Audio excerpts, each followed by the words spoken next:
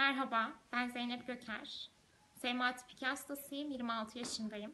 Şimdi sizlere ilaç sonrası kazandığım gelişmelerden bahsetmek istiyorum. İlaç öncesi bacaklarımı hiç hareket ettiremezdim. Artık hareket ettirebiliyorum. Desteksiz oturamazdım.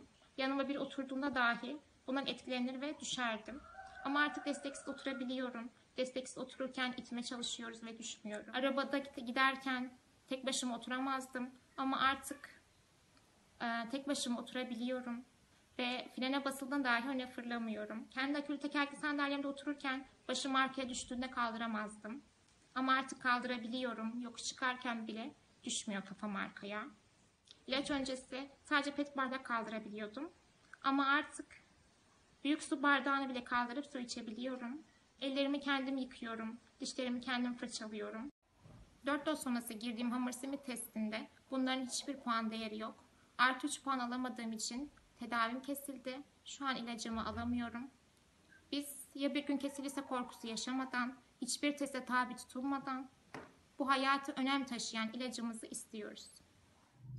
SMA ilerleyen bir hastalık. Eğer ilacımı alamazsam bu anlattığım bütün kazanımları kaybedebilirim ve hatta daha da kötüye gidebilirim. Bunları yaşamak istemiyorum, en başa dönmek istemiyorum. Biz beklesek de hastalık beklemiyor. Bir an önce kriterlerin kalkmasını istiyoruz.